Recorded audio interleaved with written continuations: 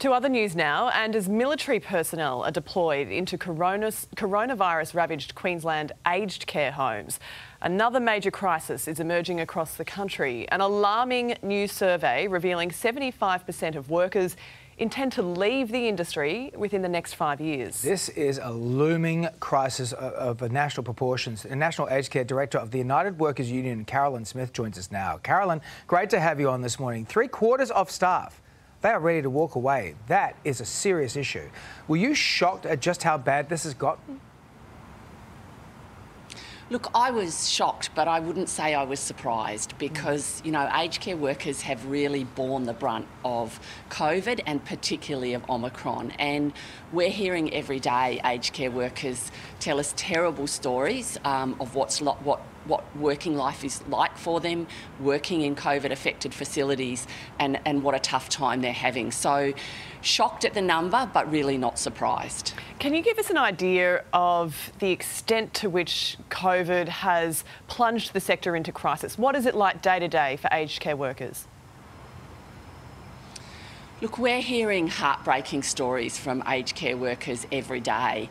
Um, you know, particularly Omicron has resulted, the, the, sector was already understaffed. So let's start with that. We had a Royal Commission, it was a, it was a broken system.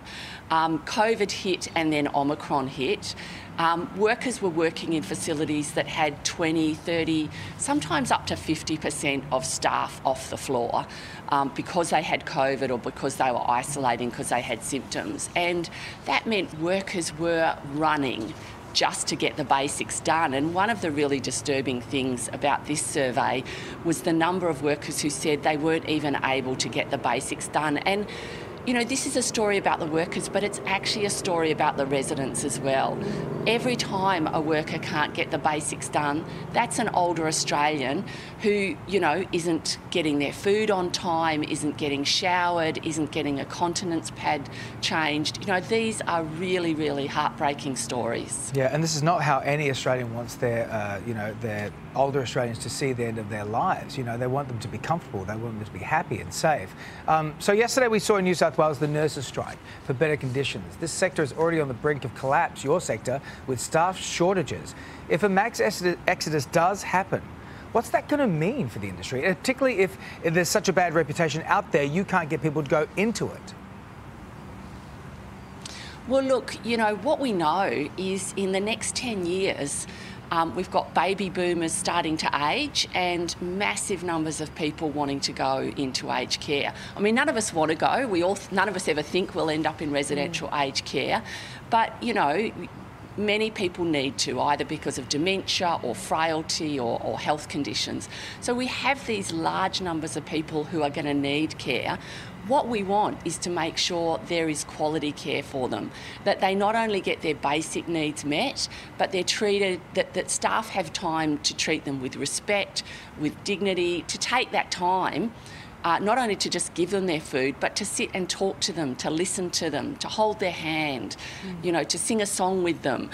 That is what every older Australian deserves mm-hmm. after having, you know, built this country.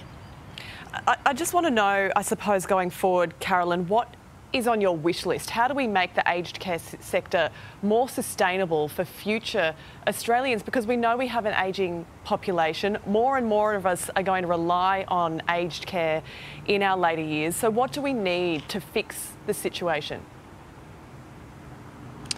Um, look, that's a really good question, and actually, it's not a super complex answer. Um, and I, you know, I, I, I, was talking to an aged care worker the other day, and she said, you know, if I had enough staff to do the job properly and a decent wage, this would be my dream job. You talk to aged care workers, and you know, we worry about the sector getting a bad reputation, but actually, aged care workers say, I love this job. I want to stay in this job. I just need, we need enough staff to care properly so I don't go home every day feeling guilty that I've let people down. And we need a decent wage so we can put food on the table and pay the rent. Now that means that means funding, and that means making sure that that funding given to providers goes to care, not to profits you know, we hear the Prime Minister Scott Morrison saying, oh, well, maybe that will mean it won't be sustainable. We saw billions of dollars through this pandemic go to businesses, some of which made massive profits at the same time. As, an, as a country, we can make older Australians, our grandparents, our parents, our partners a priority and decently fund this system and make sure that money goes to care, not to profits for big providers. Uh, no, no worker should be going home feeling like they can't provide suitable care, and no elderly Australian should be living their twilight years without dignity. That's Absolutely. that's as simple as it gets, isn't it? Uh, Carolyn, we appreciate your time, Yeah. and uh, we will no doubt be chatting to you in future as well. Thank you very much for your time. I time. mean, it's anecdotal, but my Thanks sister's an much. aged care worker, you know, and she loves her job. She loves, you know, taking care of people. She loves the people that she works with and Mm. works for. And she's like, I don't want to leave this. You know, she said that. But to know that there are people that in the same industry her just don't want to do it anymore or want to leave. They are passionate about doing it. That's why they're there. Teenagers are getting put, paid more to work at McDonald's by the hour at the moment, so That's it's pretty simple, isn't it?